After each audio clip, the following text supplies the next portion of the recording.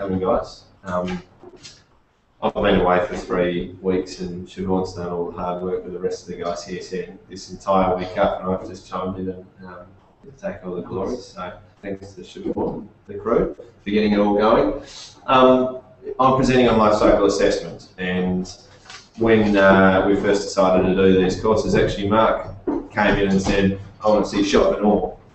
Uh, so I retitled my presentation to a revolution in building design, which, look, to be honest, I think it kind of is. I believe that's what life cycle assessment is to the built form. We're now moving from traditional ways of improving and optimizing. I think life cycle assessment really is the next the next thing. Um, just quickly, who and what we do here at Pearce Street. Um, we're quite fortunate to move into to Mark's office with Cundall Engineering. So we've got Cundall Engineering, Architecture Collective, who are a really progressive um, bunch of architects, and Green Gurus, who come from a property and real estate background, and obviously ourselves with the life cycle assessment. So we're pretty much able to offer people anything they need when it comes to the built form, and, and, and our focus is obviously sustainability, and we're very passionate about what we do. Um, having, oh, there's a duck in the house. Uh, we're having some networking drinks on Friday at four o'clock. So um, if you know anyone who wanted to be here couldn't get here, or, you, you'd like to meet some of the other guys in the team, please feel free to drop by and come back. So my background, um, I'm a mechanical engineer. I moved into renewable energy kind of as soon as I could. I wanted to do it at university, but there wasn't anything you know, available at that stage.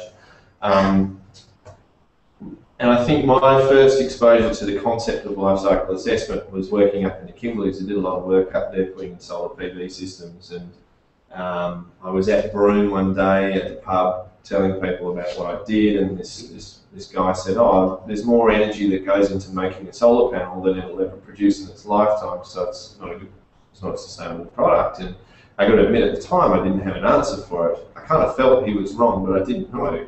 And uh, I was pretty perplexed, went home the next day, got up in the morning, jumped on Google, did a bit of research, and yeah, look, sure enough, when they first started producing solar panels in a commercial nature, um, it was true, you know, they didn't last very long, plus there was a huge amount of energy and, and materials that go into building these things.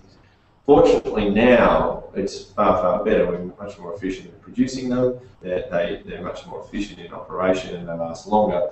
So now you're looking at about one to three years to pay off those embodied impacts of producing in the first place.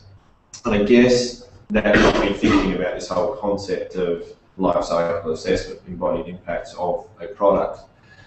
So that's exactly what life cycle assessment is. It's sort of an accounting method or a, a, a, an analysis method that follows a product or a process um, and, and, analyzes every single impact um, all the way through from, from what they call cradle to cradle. Um, it's sometimes called cradle to grave if that product doesn't actually get recycled. Cradle to cradle takes it from extraction out of the ground all through its process and lifespan and feeding it back into the food chain, so to speak. Cradle to grave that doesn't get recycled, it just gets dropped in landfill. So that's what life cycle assessment is. To give you a bit of perspective of, of you know how important life cycle assessment can be. Sorry, Alex. Yeah. Just going to move your mouse. It's showing there you go. Yeah. Just move it off to the side. Sorry. Yeah, there you go. Wow. That's great. There we go. So a bottle of water, a one litre bottle of water is about responsible for around one to two kilograms of carbon dioxide by the time that water gets into your mouth. The same amount of water, or if you get it out of a tap, the same amount of carbon or energy will give you about a thousand litres of water. Um, the obvious question is why so when you start with a bottle of water, you start with the raw extraction of petroleum. You've got to suck that stuff out of the ground or out of somewhere in the, Gulf of Mexico. We won't mention environmental issues and that sort of stuff. But if you're purely looking at energy here, you've got to get that stuff out of the out of the oil, out of the ground. You then got to transport that oil to, to, to processing plants, turn it into some plastic. You then expand uh, a bottle out of it um, you then have to go get some water, and typically it's going to come from some spring somewhere in the magical valley with, with butterflies and, and rainforest, and you truck that water somewhere and you probably process it anyway, and then put it in that lovely bottle. You'll then put a lovely shiny wrapper around it. You're going to do some marketing, so you'll, you'll burn a bunch of energy doing marketing and advertising. Then you put that stuff on a truck, or probably a boat, depending where it's come from, send it to another country, put it on a truck, send it to a, warehouse somewhere where it's going to be stored. There's probably lights in that warehouse. You then take it out, put it in another truck, send it to a retailer. who might then put it in a fridge for you, and then you take it out of that fridge and you drink that water. Generally, throw it in the bin, uh, and ends up in a big pile of plastic in India somewhere. So that's the life cycle. Hopefully, it gets recycled and back into the, the bottled water process. Um, if you to look at the tap water in, in WA, in Perth, we've obviously got a desal plant, we've got a dam, and we've got Gnangara Mound. So there's all, you know, desal's obviously got processing um, energy, you then got pumping and or, or, or, treatment and then pumping, and then you've got all the embodied energy of the pipes and the infrastructure to get it all the way through to your tap and into. So if you were to try and represent bits of carbon along the, on, along the way of all these things, you can see the one on the left has got massive amounts of carbon, uh, and the one on the right's nothing. So, scaringly enough, well, not scaringly, but interestingly, a one litre bottle of water, if you, go to, if you go to a petrol station and buy that litre of water and drink it, that one kilogram of carbon is about the same as you running around for three months turning off all your standby power. So all that hard work that people do running around turning standby power, if you forget to take your, your own bottle of water and you're in the car and you go, I'll just grab one from the supermarket, you've just done all your good work. So a bit depressing, but on the flip side, the nice thing about it is that once you understand this stuff, you can work out where to have really big impacts. And one of them is to not drink bottled water, but there's obviously a bunch of other things you can do. So depressing, but also very enlightening and, and, and allows us to do some pretty impressive stuff. So if you to take that theory and apply it to the built environment, so you know, building infrastructure, roads, houses, whatever, you start with the materials, you've obviously got the extraction of that material out of the ground. So maybe we'll follow this through with say, iron ore, you've got to dig that out of the Pilbara process it, put it on a boat, send it to Peninsula China, get it to a manufacturer who turns it into a building product.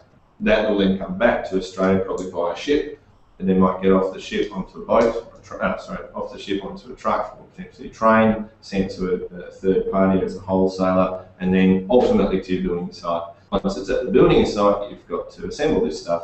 So there's a bunch of assembly energy that goes to sticking all those individual building materials into something that we call a building. Um, you then have to operate that building. Now, this is typically where all the focus is when we talk about sustainable design, is in this operational phase. So that's the amount of energy that is required to run that building, for instance. Um, you then have maintenance throughout the design life of the building. So, obviously, depending on how long the building lasts and what it's been built from, there's going to be a substantial amount of energy to keep that thing functional over its design life. Then ultimately, and hopefully, it's disposed of and recycled and put back into that material food chain, um, and we start again. So I guess if we were to compare business as usual type analysis when we look at a design, it's only that one element, that operational energy element been looking at. What we have decided to do is life cycle assessment, which as I said is the revolution in sustainable design is to look at all those other aspects and really understand what the environmental and cost impacts of your design decisions are and understand them over the full design life of a building.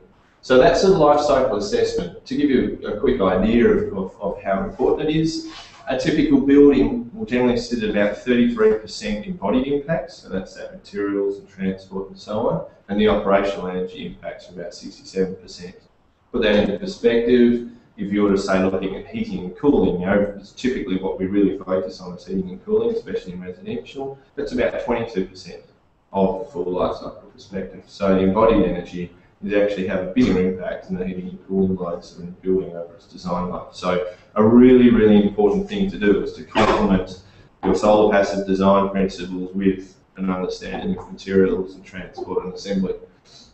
Now, I guess that, that leads me to this one, which was a lot of sustainable design is, is, is kind of missing the wood for the trees. And what I mean by that is people focus on little things a lot of the time. For instance, the solar panels. Yeah, if you didn't do life cycle assessment, you wouldn't be aware as to whether that was a good product or not. And you're surprised how many people will still say to me, oh, they hit me the same thing when we're working on a project. Oh, I don't think solar panels are that good. And you go, well, actually they are. They pay themselves off after a year they last 25 years, maybe 30, they'll pay themselves off and they go, okay, now I'm comfortable, let's go with it. Another good uh, example, That's in terms of their life cycle energy, they pay them, that's their payback Carbon. yeah. Whereas- And their capital investment payback, something slightly Different. different story, yeah. Looking at the, environmental impacts. I'll move to life cycle costing as well, because it's another very important aspect of what we do with life cycle assessment. The two things have to go hand in hand. Yeah. So, um, the other one, a good example is, you know, thermal mass. People will say, look, I'm going to put in a great big therm- uh, concrete slab to get my thermal mass up to increase or decrease the requirement for my air conditioning. Unfortunately, at the same time, they're responsible for a huge amount of carbon to the embodied impacts of that concrete. So um, it's a really life cycle assessment is a really nice way of, of, of not missing the wood for the trees, not getting bogged down in small details while missing the elephant in the room. Now, the other really, really important aspect of life cycle assessment, which I find really exciting, is what we call functional unit. Um, as the name would suggest, functional unit looks at a product and says what is its purpose, what is its function. So a good example is coffee machine. You've got two coffee machines here. The one on the left, if we were to do an environmental analysis, oh, okay, well, it's quite small, it's mass produced, so it didn't actually take that much energy and carbon to get that coffee machine into my kitchen at home. The one on the right, stainless steel, huge amount of energy, huge amount of carbon to get that thing to the cafe. So you might go, oh, the one on the left's far better than the one on the right.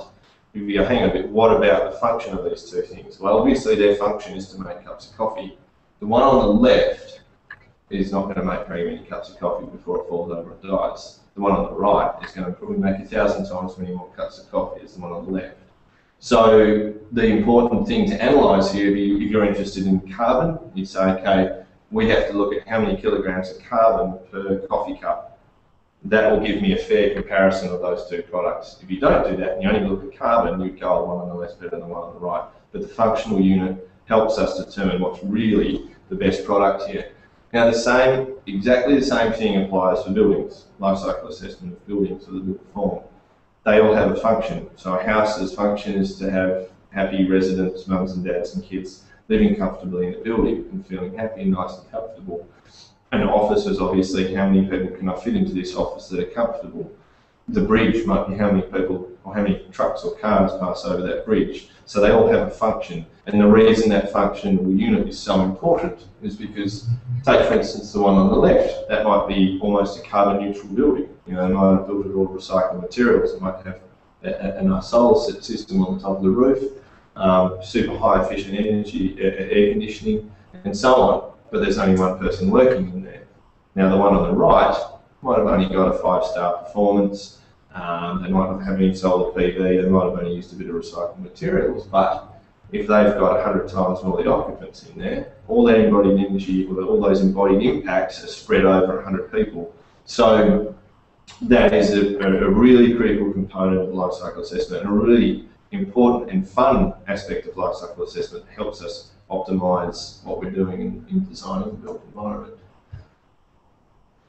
The other aspect, I guess, of sustainable design, and you probably have you seen this Venn diagram of sort of explaining what sustainable design actually means? Because I think a lot of the time people focus on environmental responsibility when they talk about sustainable design. I'm actually sort of trying to move away from the word sustainable because I think people always associate it with environmental and they think oh, I've got a sustainable outcome if it's carbon neutral or if it doesn't use any water. However, if it's incredibly expensive to build, yes, you might have something that's environmentally responsible, but no one else can repeat that building. No one can afford that building, so that's not sustainable.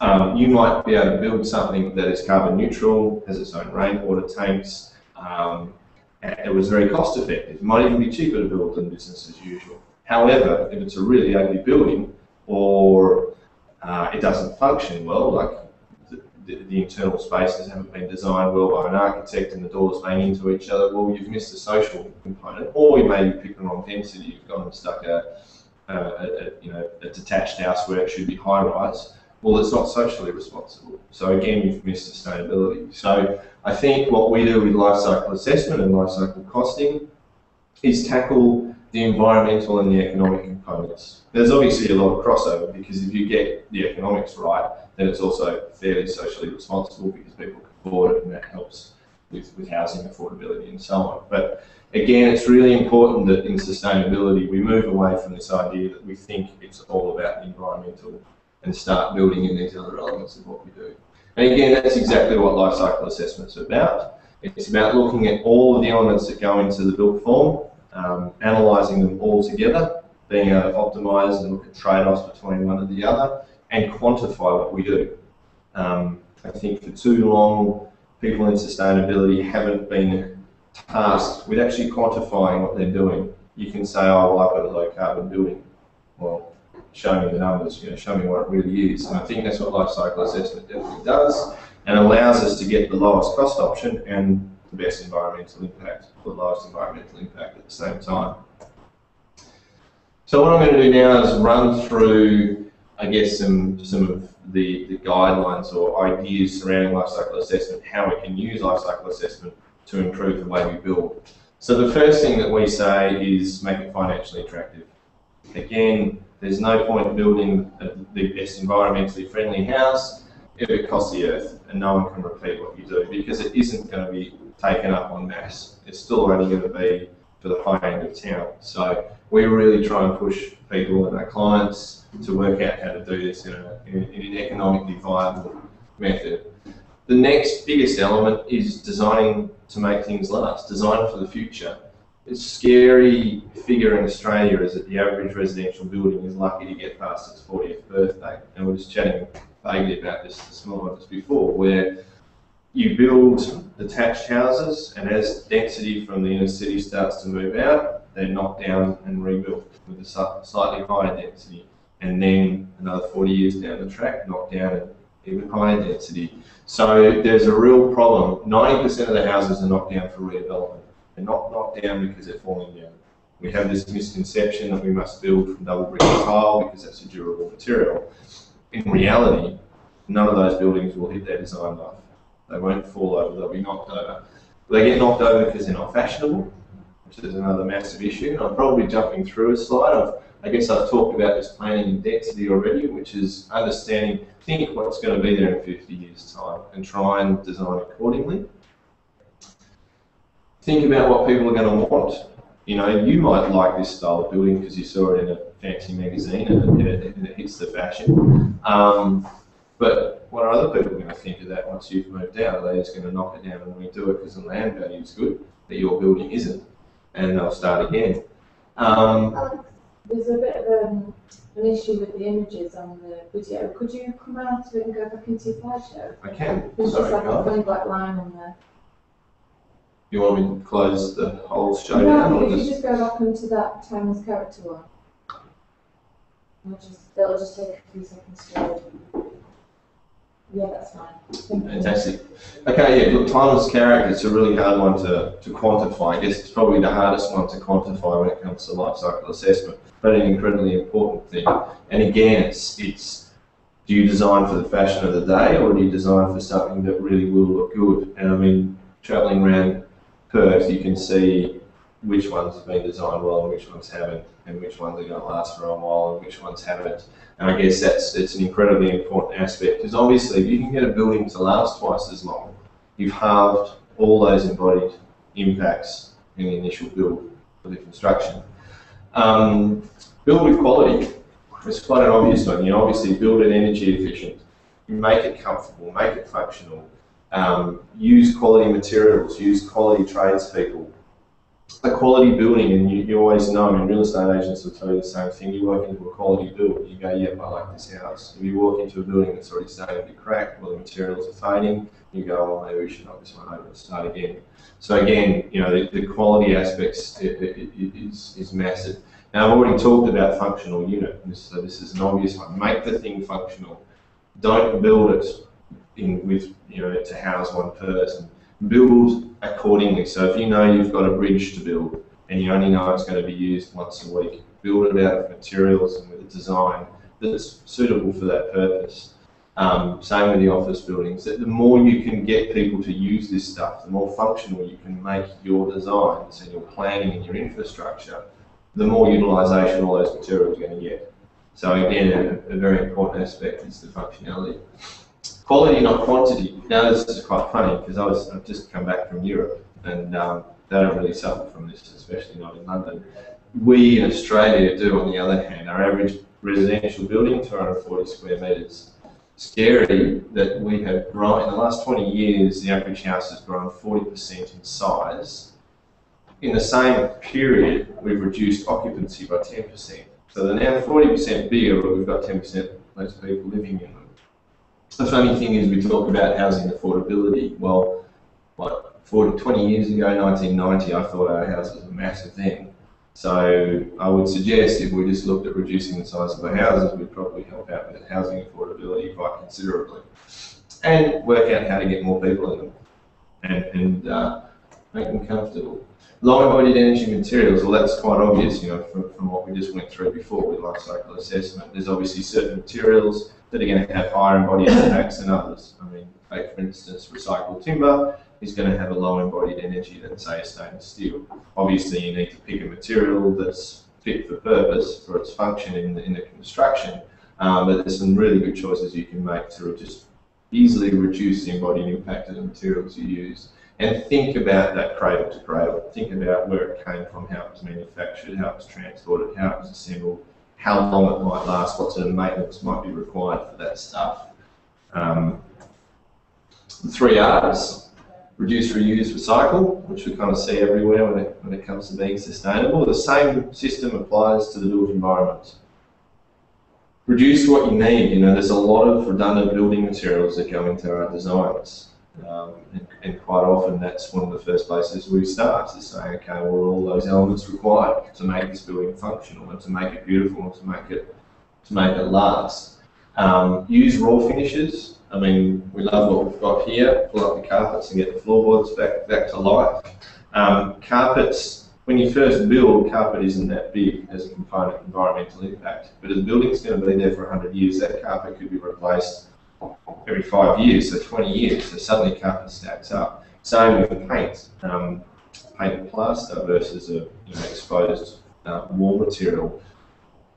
Probably every 10 years, or 5 to 10 years, again, you're going to be repainting and, and potentially replastering. And paint itself, when you start, is about 0.2% of the embodied carbon, and we talk about carbon as an impact.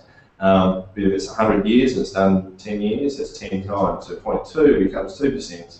But you're talking about livability, you're talking about all those things in your, your diagram before, that people would like to, you know, not everyone's going to want to live in a, a room that's, there's a concrete ceiling or True. or whatever, so it's going to get rendered and painted anyways, and Yeah, exactly. And, and the nice thing, I guess, with life cycle assessment, there isn't one answer. You don't say you can never ever use paint. Mm-hmm. It's, yep, there's certain times where paint and plaster is fantastic. There's certain times when double brick and tiles are fantastic. But the idea is you use sort of this concept to go, okay, well, if I am going to paint, where am I going to put it? You know, where does it best get utilised? You know, how much impact will it make on the appearance, on the feel? How happy will these people? How, how many more people am I going to get into that building because I paint plaster? And that's, I guess, the way to look at what we do with this with these aspects. Um, reuse whatever you can. Obviously, there's an existing building there. Try and recapture all the materials uh, anything that can be uh, put back into the building. And then look to recycle. So whatever you're building, think about what's going to happen in 100 years' time. Are those materials potentially recycled and what can you do with them when you're finished? This is a really fascinating one, the, the, the transport component of materials, because you often would think using local is, is the best. And look, in most circumstances it is. But in some circumstances it's not. And a good example um, is material that's put on a ship versus material that's put on a truck. If you were to take steel from China and put it on a boat and bring it to the Fremantle and take it to your building site in Perth, um, it's going to have less impact than the transport of that material from Newcastle on a truck, purely because shipping is so efficient compared to flatbed trucks with diesel. Um, so sometimes local, but not always, is, is I guess the point to be made there do it once and do it properly. I guess this relates to, to, to the quality of your build. I mentioned the quality of your trade staff. Um, but build things to last. You know, unfortunately, we're sort of in an age of consumerism and um, replacement all the time, and, and it's amazing what you can do with just building stuff that is built well and, and built um, durable. Climate sensible, this is, I guess, the one that is obvious and that we're doing quite well at the moment in progressing this building uh, it- in a style that suits the climate that we're in. Perth's got one of the best climates in the world for solar passive design, um, and done well, you can you can create a, a sustainable outcome. You know, eight, eight stars and above for residential is quite achievable now in Perth without that much hassle. Um, hot water, not so relevant, I guess, for, for your commercial buildings, but definitely residential and, and where, where a lot of people come unstuck with their designs is that they leave this to the end. They think, oh, the hot water is something we do at the end. They've run out of budget and they'll just put a business as usual gas storage or whatever into the building. Now, the sad thing here is they would have invested a huge amount of time, um, energy, and money on getting their design correct and have a great outcome and then go and ruin it by putting a clunky old hot water system on. And so what we always say with life cycle assessment is get all of this stuff in the design concept, understand what your priorities are and how it sits and how it will impact your environmental outcome and make sure you don't wait till the end and say, okay, now we'll do the hot water system. Oops, we don't have the hot, we don't have the budget for the solar. Appliances and other stuff. Look, collectively, this is where the biggest impact of your, your operational energy is. And again, you once you move, say, from an eight star, if you move from a six star to an eight star, and I'm talking residential here, if you had an eight star and you went, "Oh, I'm going to put a second fridge in there, you'll have a higher carbon footprint than if you had a six star house with one fridge. So again, don't leave it all to the end and then just go fill things up with inefficient appliances. And exactly the same thing with commercial buildings we find as people will not look at the entire design, not look at all the elements of the design with a life cycle assessment. They'll have a brilliant um, building envelope and then ruin it with poor efficiency appliances. Renewable energy. Now, I guess um, this is where my background was. I'm very passionate about energy efficiency and demand side management. Um, and when I first started, it was always you must do energy efficiency first, do whatever you can, spend everything you can on energy efficiency, and then your renewable energy is the last thing you do. Well, that might have been the case 10 years ago with the price of, say, solar PV where it was, but the cheaper it gets, the more it starts to compete with certain energy efficiency options. So there's plenty of times where you go, all right, well, no, it's not worth putting in maybe the double glazed windows. It's cheaper to put in more solar PV and offset that air conditioning bill um, and offset that air conditioning cost. Not only will you save money, but you'll have a better environmental outcome. But again, it's about optimising. It's not solar's better than double glazed or double glazed better than solar. There's always horses for courses. And I guess, again, that's what this is always about, is putting it all into the mix and understanding what's going to give you the best return environmentally um, and economically. So the human element, which is a lovely one, which I guess is something that modelling and e-tools and software will always struggle with, but understanding how people behave in the building, because as you probably all know, you can build a 10-star building, but if you put people in that don't understand how to use it, you're not going to get a good outcome. Um, there's obvious things that you can do, and, and typically it's it's accepted that you put in real-time energy monitoring um, and display it, and people know what they're doing. You generally get about a 10% reduction in energy consumption. Low carbon doesn't always mean sustainable. Well, we started with life cycle assessment focusing on energy and carbon because that was our background. But life cycle assessment is not just about energy and carbon. There's plenty of other environmental impacts that buildings have. Um, so, I mean, you might have a carbon neutral building, but if you've had to chop down a rainforest in Malaysia to get the timber, which has a low embodied energy, and you've destroyed a whole heap of orangutan habitat, that's not sustainable outcome. So really life cycle assessment looks at a whole bunch of environmental impact categories all at the same time and allows you to optimise. I mean, it's very hard to trade between carbon and orangutans, but theoretically that's what it's about. And a good life cycle assessment tool will enable you to do that. It will enable you to understand, okay, well, I'm going to reduce my carbon, I've had to destroy some more ecosystem. What do I, you know, what's the outcome I'm looking for here? So they're the sort of basic life cycle assessment design principles. What I'm going to do now is just go through a few case studies, um, which hopefully be rather interesting. This is one of the first uh, life cycle assessments we ever did, which was of a set of townhouses down at um, White Gum Valley near Fremantle. It was quite fortunate. It was our first one, but it was, it was actually one of the best ones we've seen. The great thing that they had here was a detached, old detached building there, um, a condemned building. They had everyone around, everyone else around them was building detached houses, and they went, no, they're going to build four townhouses with adjoining walls. So straight away, planning and density was good. So as the density moves out from Fremantle, developers will be picking off those detached houses first and putting townhouses on them. So these ones, we had a design life on this of 115 years, which doesn't sound like much, but it's two and a half times longer than the average Australian residential building, which is fantastic.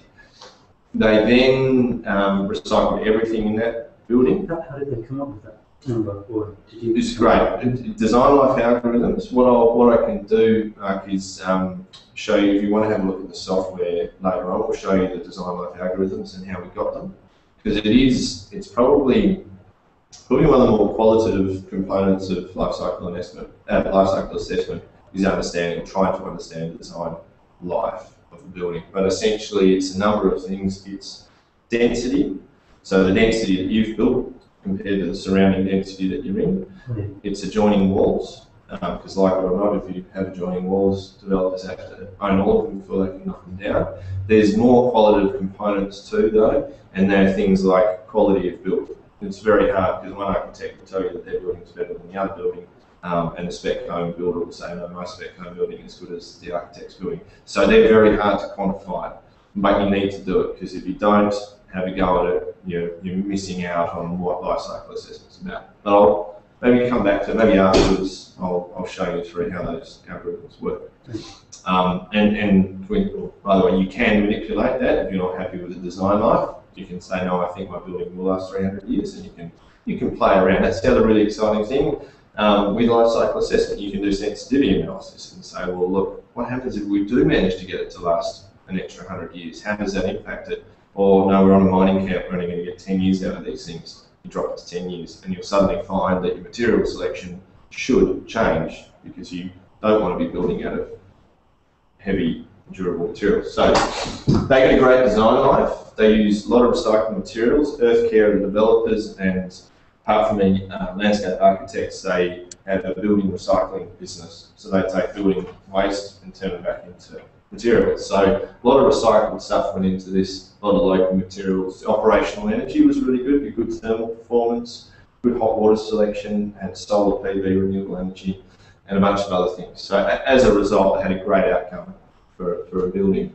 The nice thing too for these guys is um, they got fantastic prices. They sold all of these in a very tough market, um, and they got a really good outcome for them. They are a high-end product too, by the way. This wasn't a this wasn't a cheap job, but um, Cleaned up at the awards, really up to a hell of a lot of rewards. Yeah, deservedly so. Shortlisted for the National Sustainability Award. So in November, the results. Yeah, look, the, the interesting thing though is that they, woo, But it's in Perth, so we should all be going. yeah, they um, when they initially went to sell, the, the real estate agent they initially engaged didn't understand sustainability and they couldn't sell them. They moved to another real estate agent um, who I know personally who understood and could explain and communicate the concepts behind this, sold them all. So you know, we often talk about us being technically based and we can help you get a great outcome, but you still need people that can communicate and understand what you're doing. Um, Toowong Street, this is just up in Bayswater, um, a great example of, of recycling what you've got. They had a California bungalow, and instead of knocking it down, they just put a new roof on it and chucked, it, chucked a room out the back. They subdivided so they increased their density. So really um, saved a lot of materials that went into it, managed to increase the density, got a more um, modern house, I guess. Um, a nice solar PV system on it, solar hot water system, and a bunch of energy efficient appliances that went into that. So a really good outcome, probably one of the best outcomes we've had is through renovation rather than starting again. But that's the nice thing about life cycle assessment is you're able to determine should I knock it over and start again, or should I um, renovate? What will give me a good economic outcome, or give me a good environmental outcome? The Green Swing project, you guys familiar with this one? It's a really cool project, um, Big Park, or ex-Big Park, Bethlehem. Who's the architect? Who's the architect? It was um, Solidon, so designed Griff Morris. Um, I mean, they had a huge input into what they did here. Um, a, a very nice social project, I guess, as well. Three couples who are really good friends who, who wanted to live close to the city, but couldn't find anything that was what they wanted at a affordable price. And went, right, well, how about we all build on the same block? So there's three houses on here. The, the cool thing is, one's a straw bale, one's a reverse brick veneer, and the other's a double brick. So you have three completely different styles of building, all in the same spot. And we got really excited because now we had the ability to see what's going to work. The nice thing is they all work, which is what we're talking about before. There isn't one thing. It's like no paint or no double bricks. There are. There's always a way of making things work. Obviously, some things are, are easier than others, but if you have intelligent design and a bit of forethought behind what you're doing, you will get a good outcome. And obviously, they got good outcomes also by being quite dense for the area that they're at, um, quite small buildings. Um, and. They're very good on the operational energy side too. They build on the same site all at the same time as probably the, the core same. The helping, yeah. of what builders. Um, Even though there's such disparate uh, trades going on? Yeah. It's the same they, trade. they're doing a bit themselves. So, You can't, there's no problem with getting trades in the moment building industry. And housing industry. But if they're all just coming in to do little bits and you get them higher up all that. it's a fascinating project. If you note it down, they've got a great website. They're doing ongoing updates of how they're going, and they love to share their How, how information. did they, did they own the building? And the straw bale they have. I'm not entirely sure what they've done with double brick or Uh, Rice Builders. right homes. Right yeah. Homes has done all the buildings, they're building for all three, I thought. For years, but they the, the straw bale was predominantly done by Eugenie and Mark. Uh, Helmet, sorry. Yeah. Uh, so yeah, but I, the, the ST, I didn't There's a lot of elements, we'll, we'll get back to, there's a lot of elements that are identical in each building. Yeah, okay. Yeah. There's concrete slab, there's the Electrics. electrics, there's the, the timber frame roof, there's the, Yeah. Top-on roofing, there's the, Yeah, um, there's, there's framing, there's a whole bunch. yeah. It's. But yeah, a really interesting case study. It's, Yeah, yeah, it's close. December isn't? Yeah, definitely worth going and having a look and chatting to them as well. I think there's a lot to be learned from what they've done, you know, lessons and so on. Um, this is sort of moving up from the residential scale to, to I guess, a, not commercial, but it's a uh, sustainability learning centre over in Tasmania. And a, a brilliant outcome. A lot of recycled materials in here, a lot of low embodied energy materials. Um, fantastic thermal performance again. Um, you can see the solar PV. So a good mix of thermal performance, energy efficiency, renewable energy, good material selection, good design life. Again, with some intelligent design, they've pretty much ended up with a zero carbon outcome uh, without that much challenge. This is just around the corner. Um, this is probably one of the first zero or, or carbon offset buildings that we'll see go up in Perth, and I think it's going to be one of the, the many that we see rolling through. it's been, um, signs up there for a while, it is going ahead, it? It's going ahead. The last time I passed through, it was construction starting. Sticker was I'd have to stuck across the front. So, you know, look, they, they've done it very well in the marketing aspect. They've really pushed it. Um, and again, in the tough market, managed to secure the, the pre-purchase and the financing to get things up and going. Um, this was a really interesting one we did not that long ago. I guess just out of our own interest, to be honest, we wanted to see what a, a massive infrastructure project looked like. So the Sydney Harbour Bridge, um, when we first started pulling the stats out and trying to get it into a model, into our model, huge amount of steel, you know, 53,000 tonnes of steel. It was the biggest thing we've ever seen. Huge amounts of concrete, huge amounts of granite, um, even the paint alone. I mean, the paint alone has a bigger impact than a few houses put together. Um, nine years to build the thing, so you can imagine the assembly, although a lot of it was done by hand, um, has a design life of about 300 years. So the cool thing is, though, if you look at what it managed to achieve in terms of re- reducing transport, energy, and carbon, obviously before it was there, people had to travel a long way to get from one side to the other. So it offset its carbon or its CO2 footprint by 1955, and it's already done that another 35 times over since then, and it's going to keep doing that. So the really exciting thing here, the nice thing here is that yes, sometimes these infrastructure projects have huge embodied impacts, but if done well, with some forethought, good design, your net result's going to be a really positive one. Um, but yes, you have to do the life cycle assessment to understand. You also have to understand the function of, the, of what it is, and this is a bridge, and is it going to get used a lot? Yes. So it's got a great functional output, um, and away you go. the, I think we touched on this before, was the life cycle costing, how we looked at the carbon, you know, offset of the solar PV end three years, the financial offset, well, it depends entirely on what the government's doing with feed-in tariffs, but, um, you know, we're now typically talking to anywhere between six to ten years, even without rebates, you're still around eight year mark. So what is really important with your life cycle assessment is to do your life cycle simultaneously. So your life cycle costing, your life cycle assessment for environmental impacts will tell you straight away which things should I be spending money on, which things are going to give me a return on investment financially, which things are going to give me a return on investment environmentally, and it actually helps you reduce capital outlay because you don't go spending money on things that aren't going to help you or aren't going to help the environment. And it's where we find life cycle assessment um, has a lot of quick early wins. If you get people at design concept, and this is what we really try and do with, with our clients specifically, is get them in at design concept phase. And before they've already made a decision about what things are going to look like and what sort of elements they're going to throw in there, we can sit down and say, well, look, that's not going to give you a return on investment when you put it through a life cycle costing. So they can remove certain components of the building and hence reduce capital outlay as well as improve their ongoing costs.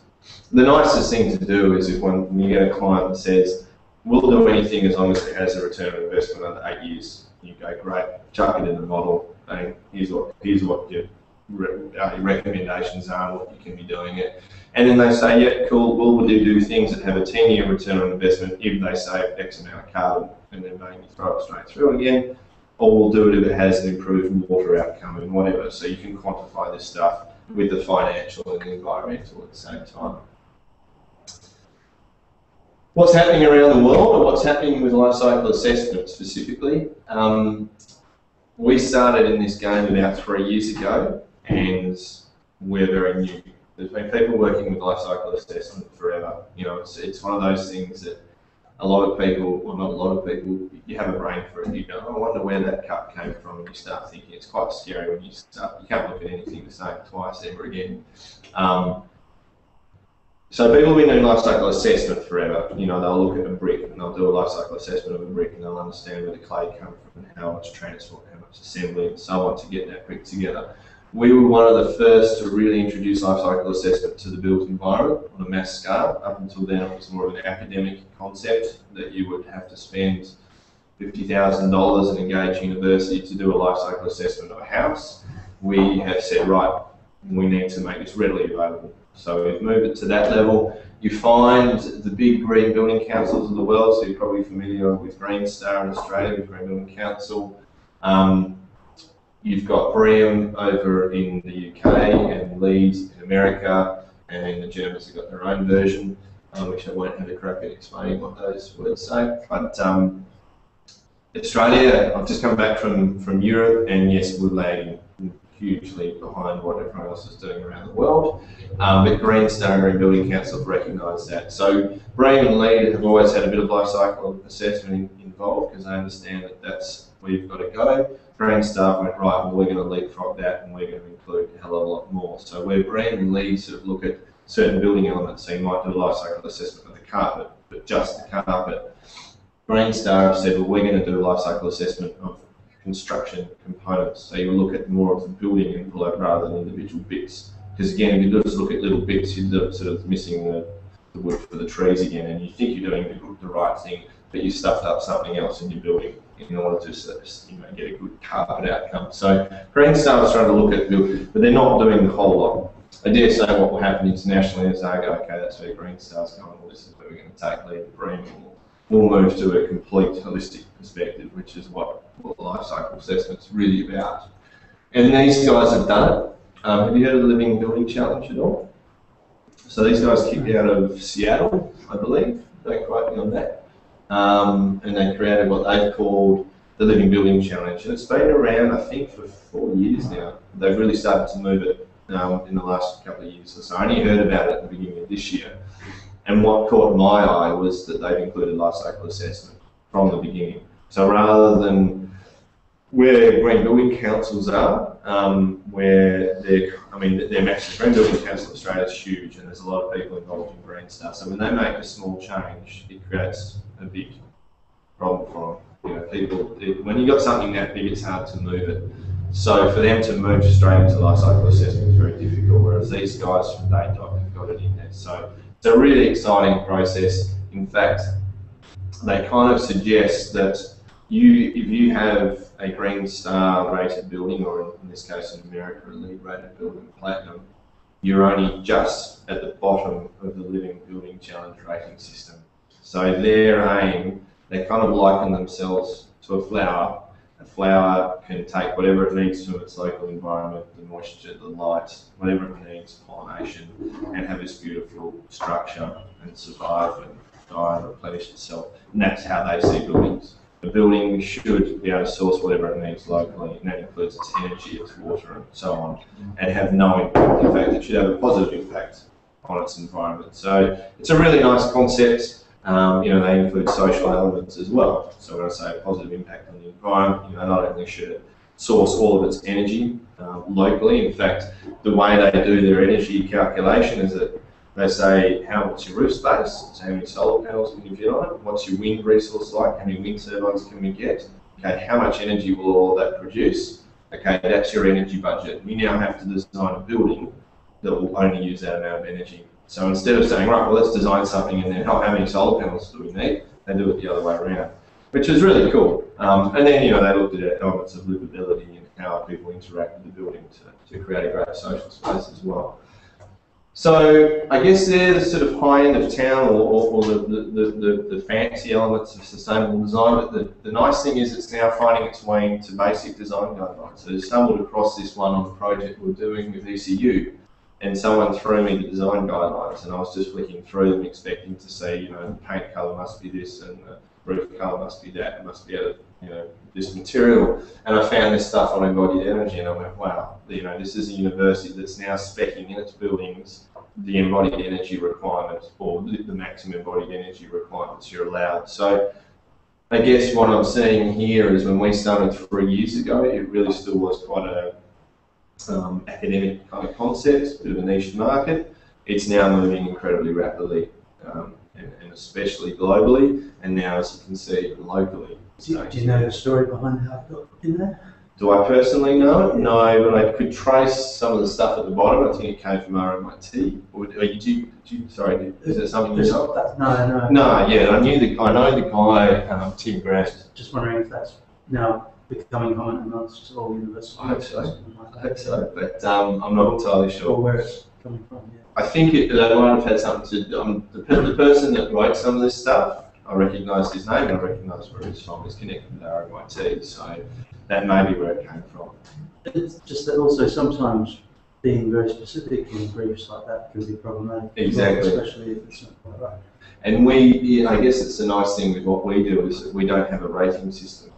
We don't say you must achieve this or, or whatever. It's to use life cycle assessment to get the best outcome you can with your budget.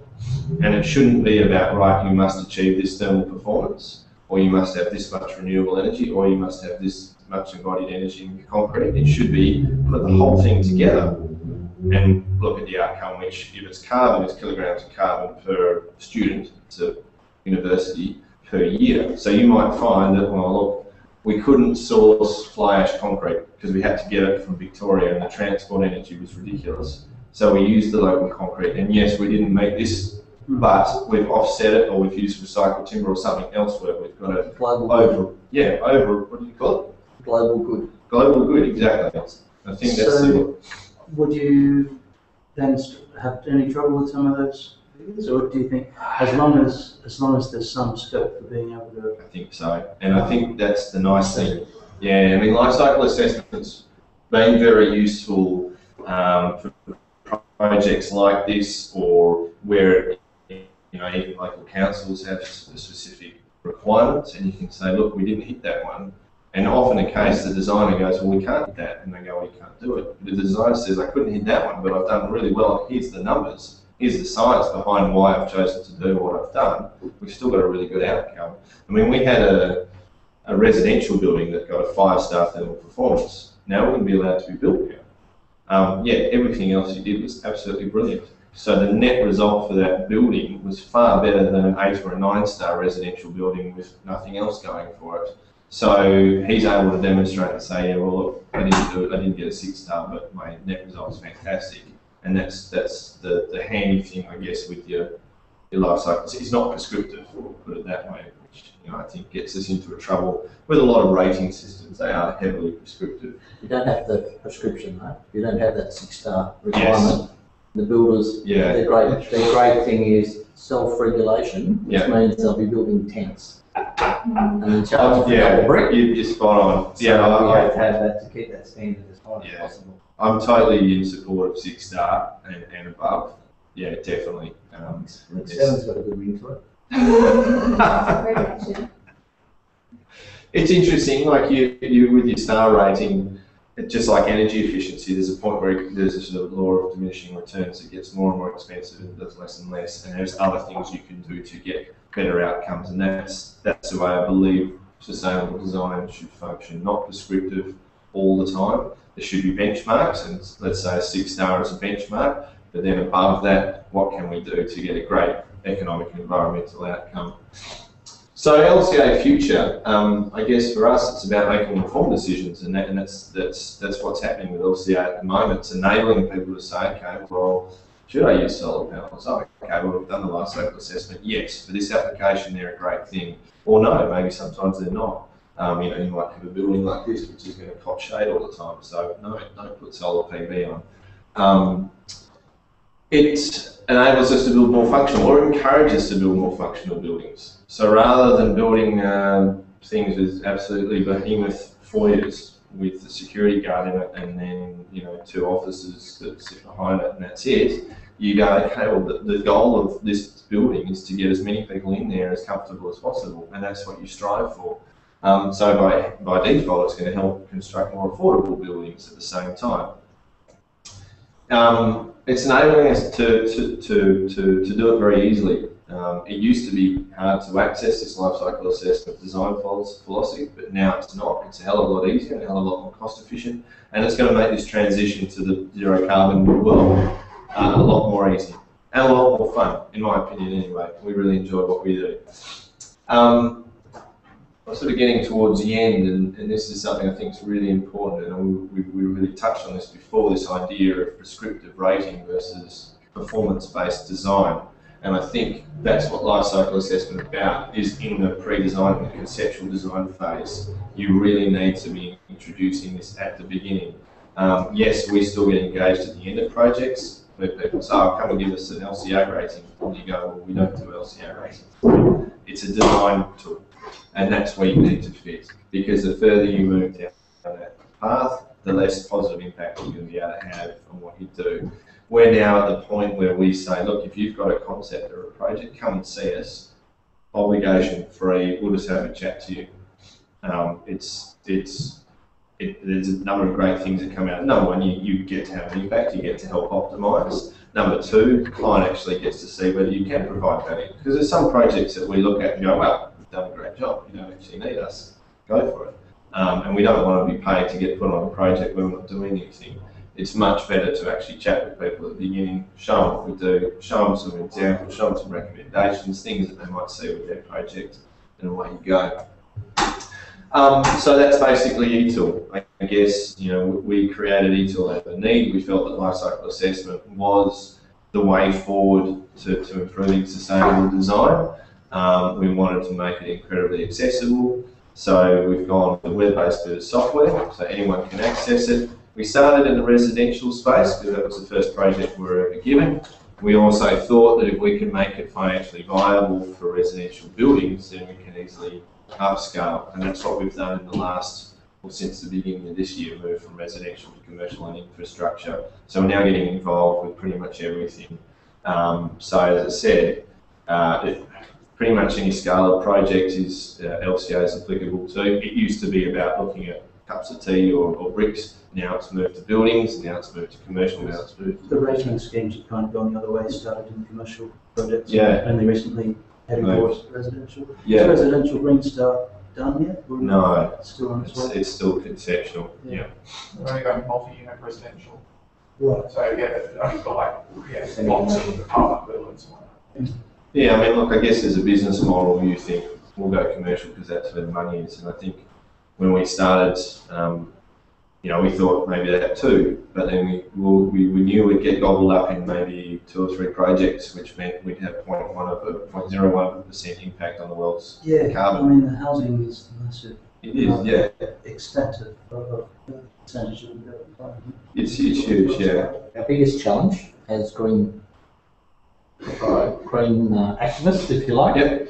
is to change the business model of Yes. the project builder.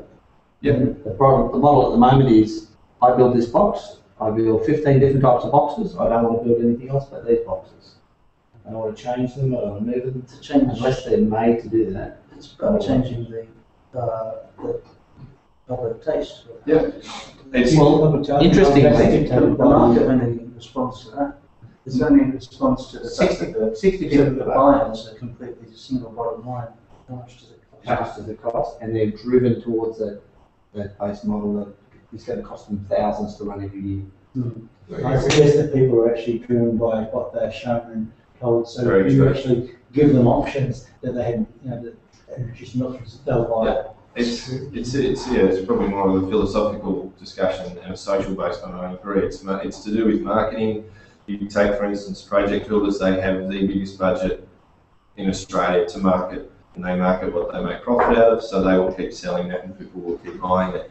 If, I mean, take for instance the house that's now grown to 240 square metres. So if it was purely about bottom line, they would say, no, I will take the architecturally designed house and I'll just take 40% off the size, and I'm happy. So it's, it's, I don't think it's necessarily about bottom line, it's about what they've been sold and thrown round down their necks every time they open the magazine. And I think that's how it will change, is through good communication and marketing. Um, I think it only, seems to be in Fremantle that people will actually make that transition.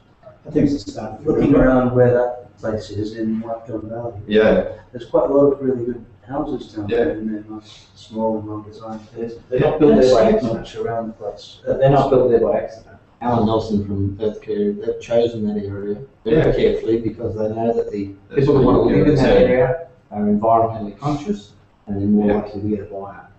Yeah. yeah, You take it up to just about anywhere else. Yeah. You go up to Sorrento, I don't care. so we need more passionate, we need more passionate people. In saying that, Sorrento's got four of our houses. Good. But uh, And it's, it takes time, but I mean, you know, through experience so I mean, take for instance solar PV when I started, I, my first system was sold not on its economic benefit, it was sold purely on its environment. It didn't have a payback. Three years later, it had a, had pretty good uh, economic paybacks, and bang, they just exploded. You look, my, my parents bought my first one, because they like me, and, uh, you know, it- it- they're like, oh, well, never paid off, they didn't care.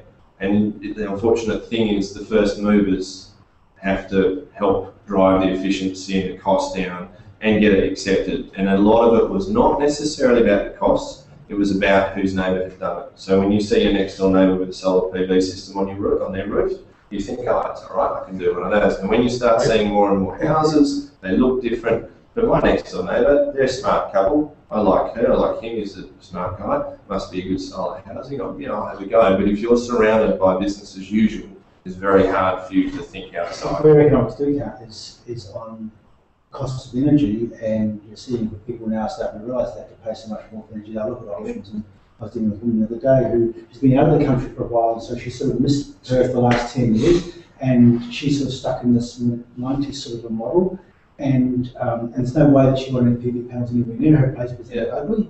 Fine, I'll put a place where she can have them later, you know, for a later date if she wants, and I put a position for a uh, solar hot water system can mention it to her, but the other day she said, oh my God, I've just got my gas bill, it's eight hundred dollars, there's no, way. I said, well, what about, you know, solar system, very much, she said, I want one. Yeah. like- It is, I'm fascinated. I live in Strata in Leederville, and my solar PV system got knocked back because potentially it would devalue the property. I mean, we have a 1980s brick and concrete tile building. It's not, a, well, no, it's not unattractive. Um, The value's not affected. yeah, s- six months later, oh, we love solar PV, let's go for it. And they're popping up all over the place. So it's a lot about that. It's a lot about a social norm, getting people to like them, accept them. It has to come from government, in my opinion. We've got a situation where we went five star, it took almost three years kicking and screaming to get the project builders and the MBA and the HIA to six star. They delayed, delayed and gave excuses, get them to six star, knowing when it did go to six star, they could do it for the same price. Yep. They've all said that publicly. And yet, we get to that next level, it's gotta be driven, they've gotta be legislated or, Yeah, it's, again, a very so, for them to start thinking outside the box and going, oh, we have to do this. It's a very philosophical question because I, I, I agree in some regards that legislation can be very useful, but I also strongly believe in a market-based approach. And if you get your marketing right and you encourage people to want it, you get there a lot quicker. Because as you said, how hard was it to fight? When you have to fight to get something, whereas if you can sell it, people start wanting it. So easy. Trust me, the project build home, they will build eight star if the population starts saying, I like eight star. And why don't they want it? Because they don't know anything about it. They haven't the been. popularity of these uh, solar and solar, water and, and PV systems is so much more mainstream in the last few years. Yeah. Um, uh, it's quite, it's quite amazing. The government's probably helping out there, but it seems for the. The rebates, but if you look at the marketing, if you looked at the proportion of marketing to the purchase rates, they're almost linear. I mean, when I started, I thought marketing was to go to the local newspaper, spend five hundred bucks and put an ad all about saving the planet and put that in there. And, you know, I got three or four sales out of it. And then it was probably two years later that I remember watching on TV and Dennis Lillee turned up selling solar and I was like, what does he know about solar? That's not going to work. You can't sell solar panels with Dennis Lillee. I bet he doesn't even have one on his roof, but it didn't matter. As soon as it's a social norm, the ladies love him, the men respect him, he's a cricketer. I'll have one of them on my So the other roof. way around. Yeah. And solar, sale- solar just went through the roof. Absolutely. And, and then that gives the guys more money to do more marketing and it just, and away you go. And I think that's where then we're they at. hooked up with uh, the volume builders as well, so. Yeah. I think they would work around needs or something. Yeah, like that, so- We, we had a really interesting discussion with Kiara, I don't know if you guys were here, um, was it yesterday? Tuesday. Tuesday, that, that was what Green Gurus was all about, was, uh, I find it fascinating, the philosophy, there's a, the, um, the psychology behind, um, you know, what drives people to buy and what, what they value. So Kiara's talk was sort of hinting at that a all the time. She's a, a real estate agent, she's writing about doing a master's in office at the moment. Because I just look at yeah, I, I totally agree with Alex. I think it's all, you need to have a market-based approach, and it's working in the commercial building sector at the moment. And green sales is such a big adoption in the commercial building and NABERS and all the rest, and it's completely voluntary. Yeah. You know, except for the bigs coming in now, and mandatory disclosure, but, Yeah. um, it, it got a lot of legs just off, off, off market-driven approach, and, and, and I feel much more comfortable as a consultant or as a professional going to someone and saying, well, you're doing this because you want it, not because not because I'm sort of, you know, I don't think I don't think I'd still be in this job if I was going along to do some regulatory tick the box exercise, you know.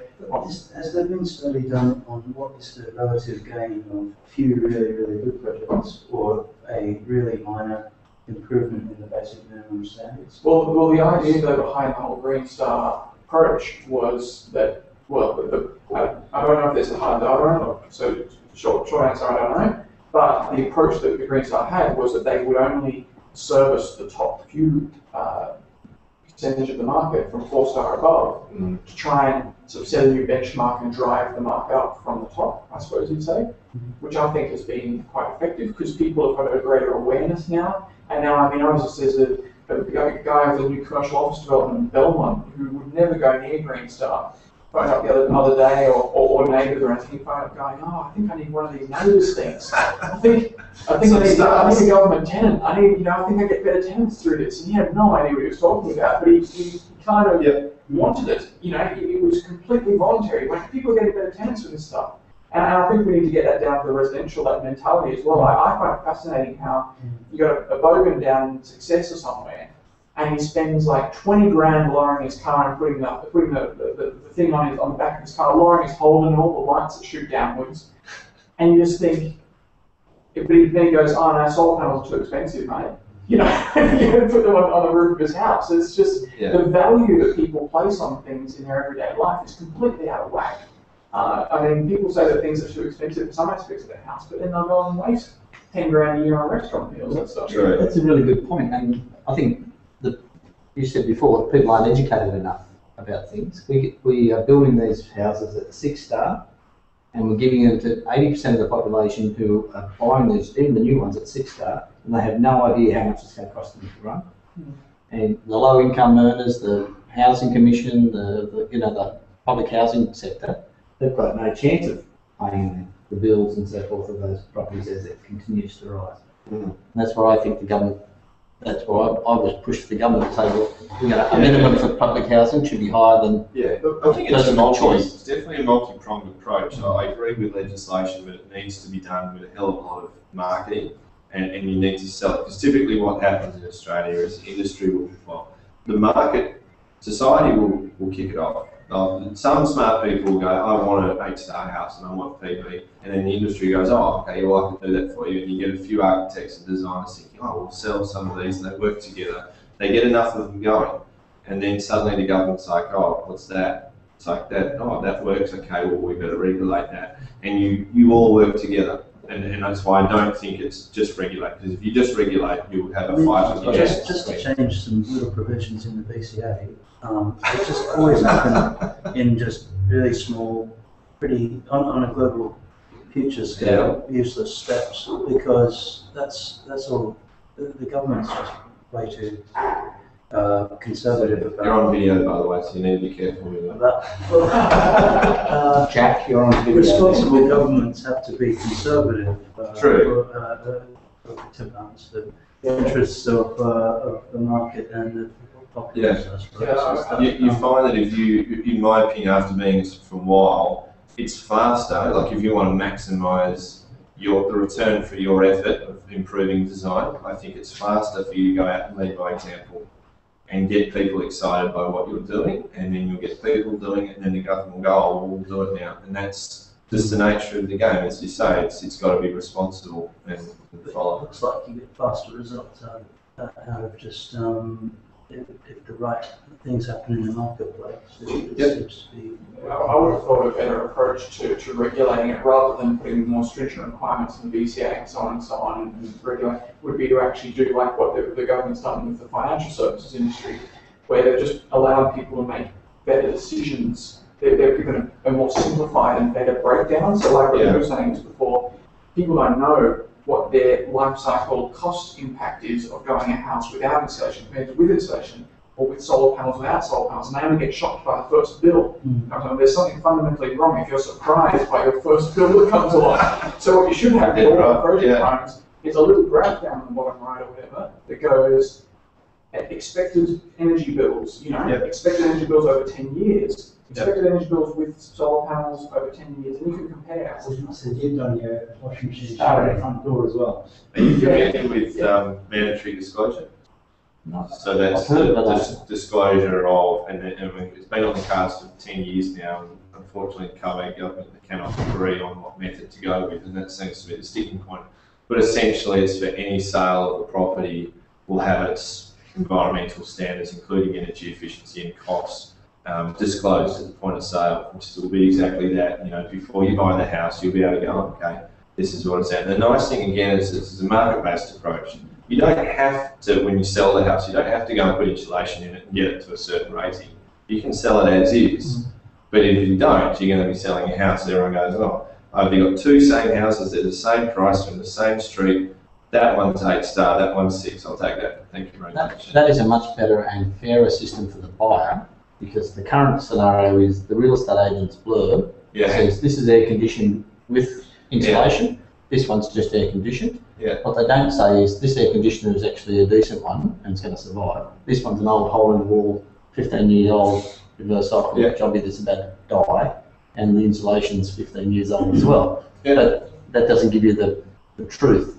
It's Yeah. not even inspected and whatever else. So yeah. I mean, there are there are flaws with this model in that how much information do you need to mm-hmm. provide, and there is a cost associated with doing putting together that mandatory disclosure component. You need a, a, a, a professional to come and analyse the building, so there is costs that, that are there, and then how much information do you provide? Do you have to get in the roof and check the insulation, see how much it's, it's degraded? Because if you start doing that, then you're up for a lot of money. Whereas, if, I mean, the Queensland model was just a really cheap and nasty check sheet. Has it got insulation? That was how simple it was. You know, if you know it, you didn't even have to say. You could say, I don't know, I don't know, I don't know, I don't know, and that was your lot the disclosure. real estate market runs like that anyway. Yeah, but that's fine. You know, I think it's again a market-based approach. If, if your real estate agent has the check sheet, it's like, well, I don't know. So you go, oh, okay. But the next door neighbour's house has the hot water, has the solar PV, has the insulation, you're like, oh, okay, well, I- then suddenly the real estate agent goes, oh, I'm not going to tick the I don't knows anymore, I'm going to actually do the, do the research. And you drive it by market encouragement rather than you must like, hit you on the head until you, you know, get your star rating up. And, but yeah, you, you need the best benchmarks. Money is the best driver. What about, um, and so that's whenever a house changes hands, what about with the new ones? The same thing. So yeah, Cuts have to be done on Yeah, the. So you'd obviously, you'd obviously stay with, we've already got the BCA with uh, minimum star ratings, which is just the performance, and, and other states have various bits with hot water and so on.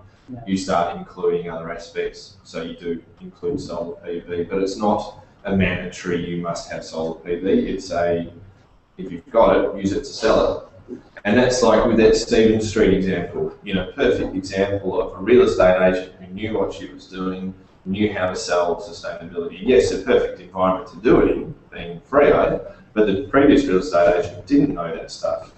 So didn't know how to sell it. So when people were coming through the door, you know, this girl could market the stuff and people went, wow, no no power bills, that's brilliant. You know, they had the little graphs and everything. Obviously we provided all that information for them, but they had it there which enable them to communicate and, and move forward. And look, if you're interested in this stuff, uh, Kiara from Green Gurus, who's part of the team, that's what she does. You know, she's from that background of real estate to help people if you're going to spend money on sustainability or make sure you do it in such a way that's going to give you a return on, on your development. Um, which, you know, we, we've sort of got a strong engineering background we love pie charts and spreadsheets and technology, uh, but you very quickly realise that that ain't going to get you anywhere until you've got Dennis Lillee on the TV. And, and, you know, so if you ever see Dennis Lillee selling eTool, You've at one. it. So, um, uh, uh, do we need to wrap up, or are we, are we able to? That was a good discussion. It's a pretty small group here. I think we just wrap up whenever, yeah. Yeah. Wrap up now. Guys, do turn I'll come back if you tomorrow. We've we've got Mark's presentation on at lunchtime. Are you doing a four, four o'clock one? Uh, yeah, and I'm giving a talk only at twelve thirty, Okay, twelve thirty. and then and then we'll probably roll that straight into drinks. I don't think I'll be doing much work. Well, we're starting drinks at, at one thirty. Probably. It'll probably be pretty casual in the afternoon. Yeah, well, the- theoretically, the drinks networking starts at four. There's going to be because we, if you you probably were aware, there's been um, a full week of talks from Green Gurus, um, Cundall Architecture Collective. So we're all going to be here on, on the Friday. Great opportunity to meet like-minded people and passionate um, uh, people in the industry. And, and there's been a full mix. We've, I mean, this week we've had everything from mums and dads through to the state government. Um, building developers, financial groups, everything between. So lots of architects, yeah. It's been great. It's, um, well, and I congratulate all of you here at the, at the Peaceful Collective because it's, it's, it's enlightening, but it's very informative, but it's also really refreshing to see people from different, um, aspects of, of the same sort of, everybody's got the same goal. Yeah, we, my industry at least, and I've been the building industry the last thirty odd years, everybody's about this. Yeah. You know, and you get offline, talk green, they whack you on the head, and bring you back in and say, what are you doing? Just get back and build the box. Yep. Until you start to get people from different, um, professions. Yep. Um, you don't see that collective, that's a good word, Yeah. collective result that gives you the right answer because Yeah. somebody's got a particular barrow to push themselves. They might have a particular brick they want to sell, or they might have a particular. yeah, Well, this is how we get a lot of our work, Cundall, uh, but, but all of us, I suppose, in, in commercial projects, is because um, we're competing in commercial space, Cundall particularly directly with your NDYs, AECOMs, Wooden Grieve engineers, these very large multinational engineering firms. Um, but, but we are impartial and we're independent, so that's, that's what really gets you, because when you've got an engineering firm who's doing the electrical and mechanical engineering services, as well as the sustainability aspects, there is that really hidden agenda in terms of they sort of kick, give the sustainability guy a bit of a kick before each meeting, go, shut up and let us do our thing beforehand, you know? I was going to say, yeah, even within consultants, I mean, if, um, you know, you find even people who are both passionate about sustainability, one might be pushing the solar PV barrow and the other guy's pushing the double base we know barrow, and, and you'll, you, you- you'll have a fight, or not a fight, but you'll have a, whereas I think the nice thing with what we have here is the ability to offer architects, um, you know, marketing and sales, and full-on engineering and life cycle assessment and, and everything in between. You know, we've got, I mean, my background is in renewable energy, still accredited designer and installer, so you, you know, you leverage off a bunch of knowledge that we all sit down. And what we're doing now is offering the word that came up before, the genius bar. I'm not sure Genius about bar. that, but uh, this design session. creative design sessions. We Genius found bar. Creative thinking. the genius bar. We want people to come and talk to us, and and uh, yeah, Yeah, exactly.